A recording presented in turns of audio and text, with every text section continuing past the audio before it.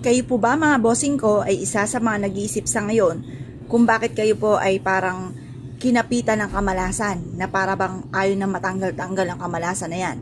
Ako po may sa inyo mga bossing. Basta naniniwala ka sa mga ganito mga bossing kasi alam niyo po ba, ang mga tao naniniwala sa mga ganito ay nagiging positibo sa buhay na alam po niya na maaaring kapag ginawa niya po ito, siya ay suswertin. O di nga, napakaganda ng ganyang mga pananaw sa buhay. Ngayon pa mga bossing, alam niyo po ba, kahit anong gusto nyong gamitin pampaswerte, ay pwede po yan. Lalo-lalo na yung mga pinapakita ko po sa inyo. Pwede nating gamitin itong pampaswerte. Upang sa ganon, mas higit po tayo na makatrack ng swerte at maging positibo. Ganito lang inyo pong gagawin. Asya, kumuha ka ng itlog mga bossing.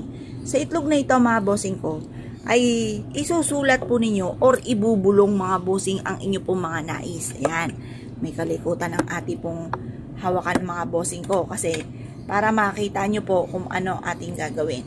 Isusulat nyo po dito yung inyong mga pangarap. Halimbawa, magkaroon. Ayan, ayaw masulat ang gusto. Nakikita nyo po ba? Ayan. Ayan, game. Ayan. Mag karoon ng ne negosyo na na saan na? Na dito na ako, ayan ako yayaman. Yan. Pagkatapos po i-wish po dito na magkaroon kayo ng sariling bahay yan. Or kaya po, yung numero na lagi yung tinatara, tinatayaan. 7, 5, 8, tapos 7, 5, 8. Edad ko 41, anak kong bunso 10, at ang aking anak na panganay ay 19. Yan. Or kaya, kasi birthday na anak ko ay April 3. 4, 3, alin man dito mga bossing ha, 4, 3, 4, 3, 19. Tapos, 25, happiness. Tapos, mga bisita daw niya ay panay babae, 6. Tapos, ito, isa, dalawa, tatlo, apat, lima. Last na lang. Um, ano pa kaya? O, na lang ng kanyang kapatid, Gis. Yan. Yan po ay sample lang.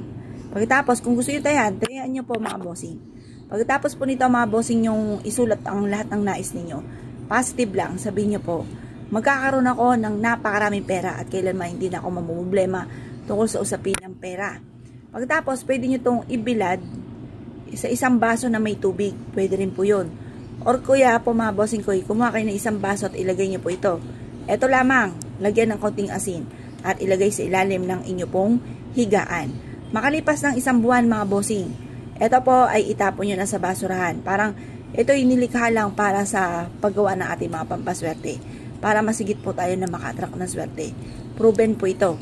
Basta't may 100% kang paniniwala sa mga itong mga pamamaraan. Kung kayo pinaniwala at naisyo po itong gawin mga bossing, wag na po kayo magpatumpik-tumpik pa. Subukan nyo po ito. Proven po ito. Yun po mga bossing. Salamat po.